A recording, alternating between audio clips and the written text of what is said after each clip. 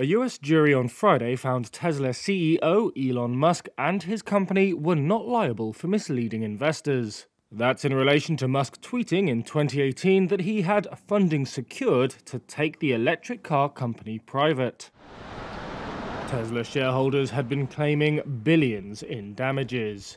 Here's one of their lawyers, Adam Apton, after the verdict. We're disappointed. We're examining options. Yeah, well, considering what we're And, doing uh, it's very disappointing. Yeah. Thank you guys. The plaintiffs claimed Musk had misled them when he tweeted on August 7th, 2018, that he was considering taking the company private at $420 per share. That was a premium of about 23% above the previous day's close. He also said he had funding secured. Later that day, Musk, now also Twitter's CEO, had tweeted, Investor support is confirmed. Plaintiffs claimed that was a lie.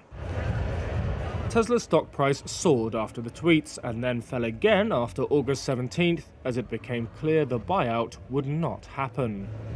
An economist hired by shareholders had calculated investor losses as high as $12 billion. Lawyers for the investors argued that Musk was not above the law and should be held liable for the tweets. But Musk's lawyer had countered that though the funding secured tweet was technically inaccurate, investors had only cared that Musk was considering a buyout. Just because it's a bad tweet doesn't make it fraud, he said during closing arguments. The jury came back with a unanimous verdict in Musk's favor roughly two hours after beginning deliberations. Shares of Tesla rose 1.6% in after hours trading following the verdict.